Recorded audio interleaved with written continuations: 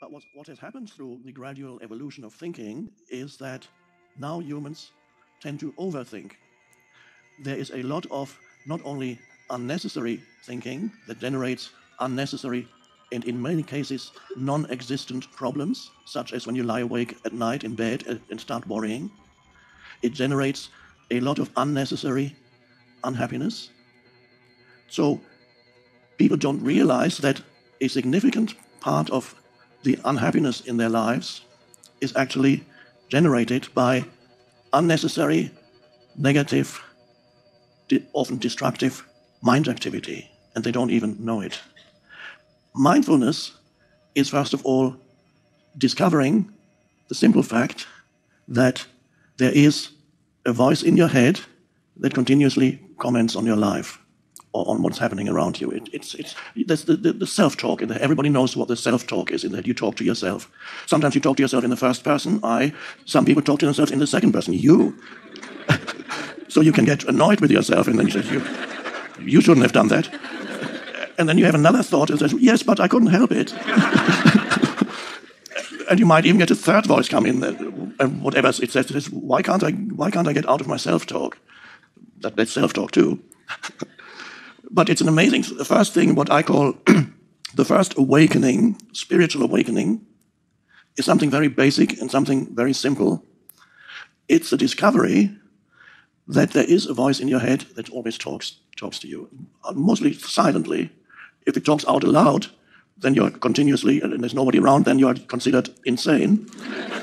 but, and that's only if it's loud, but most people have that inside their heads and they are not considered insane, it is considered normal. But there's not such a big difference between the two. And sometimes when you when you listen to them, there might be a man walking in the street muttering, "Oh, and you say, "Oh, he's really insane." But it might be that you are doing the same, but it's just not out loud. It's in your head. Why didn't I should have said that? Why didn't I say that? Next time he does it, I'm not exactly know what I'm going to reply. Uh, and it goes on and on. Or you lie awake at night and start worrying. You wake up and, oh my God, what's going to happen? What if that doesn't work? And if that goes wrong? And what if he does that? And, oh, and then you go into, you get drawn one thought leads to another thought and another thought. Oh my God. And then the body, the body cannot distinguish between an actual reality, an event that's happening in the real life, and what your mind is saying. So when you have fearful thoughts, the body reacts to every fearful thought, but the, and that's an emotion. The body reacts with an emotion, the emotion you feel in your body. The body cannot dis distinguish between an actual event and a thought. So when you think fearful thoughts, the emotions you feel are the emotions that are saying, I am in danger. There is an actual danger here. So you feel the emotion of fear, anxiety. You might, you might feel, you feel agitated.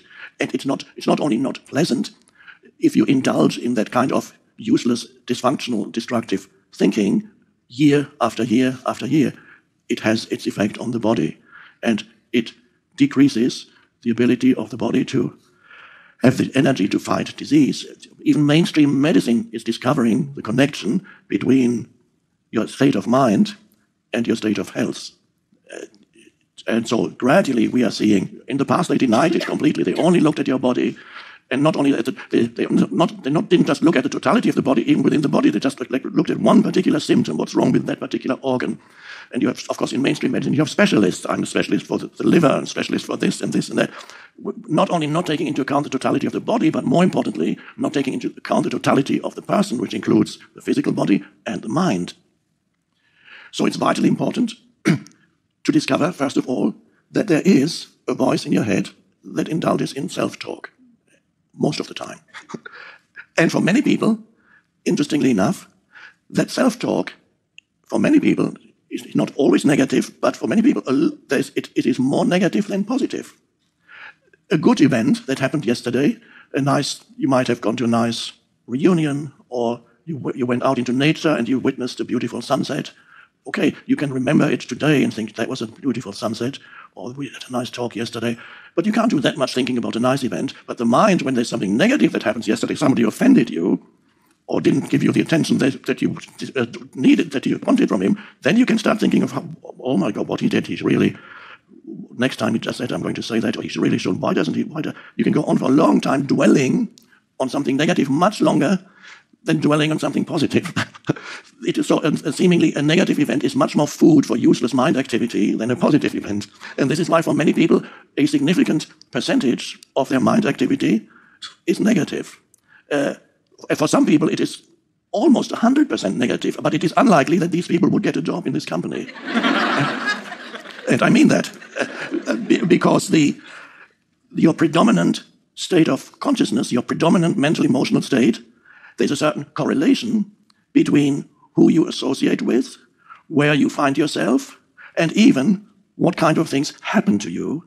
There is a correlation which is not always immediately recognizable, but there is a correlation between one's, a person's predominant mental emotional state and who they are with, who their friends are, what, where they work, and even what happens to them. So if you are, if you are in a very negative state a long time, you tend to attract also negative events, but you can only have to find that out for yourself. I'm not saying believe me. I know it from my own life because when I first discovered this, I was still very young. I discovered that there is a correlation between my mind activity and what happens to me. I, I found a, I found a, a book and that somebody, several books that somebody left with us when I was 17. And there, for the first time, I read about a person's mind, and I suddenly realized my mind was predominantly negative because I was, very, I was a very unhappy child. And so my childhood was not pleasant.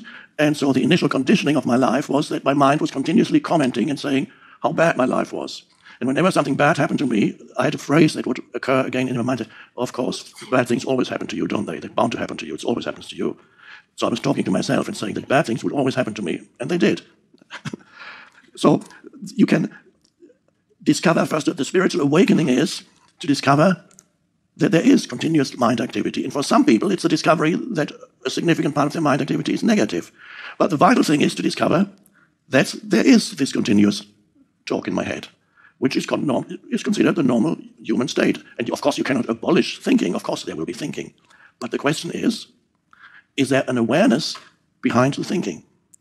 If, and the, if you can become aware that you are indulging or caught up in that useless mind activity, and you suddenly become aware of perhaps certain repetitive thoughts that tend to reoccur in your mind again and again. You might see it in others too, more easily in others. When you go for your Thanksgiving dinner, I think is it next week, you will meet your family members or relatives, and, and some of you may realize you already know what they are going to say this year because it's the same thing they said last year and five years and ten years ago. And if they have negative judgments about you or somebody else, then it's the same thing you will hear again next week when you go to them. So it's, it's easier to see how others are caught up in repetitive thought forms, not as easy to see it in oneself. This is why there's a saying that self knowledge is the most difficult knowledge. It's, it's easier to see others. But if you can discover, even in the midst, perhaps, in the moment of a certain thought appearing in your mind, realizing, oh, that thought is, I've had this thought for years. It comes again and again and again. And so there is an observing presence. And from there you get, and that observing presence isn't a thought. It's just the ability to realize that, that there is a voice in your head and that there are thoughts. And you realize that some of those thoughts are negative, And many of those thoughts actually are not only unnecessary, but make your life very difficult, such as worry. So most people live with what I call a cluttered mind. A cluttered mind means they are completely unaware that there's a continuous stream of mental commentary that goes. And wherever they meet somebody, immediately certain judgments form. And everything they feel, they need to immediately adopt a position towards it. Immediately say, I'm against it, I dislike it. Immediately adapt, adapt a mental position and being identified with one's mental position, which is a thought.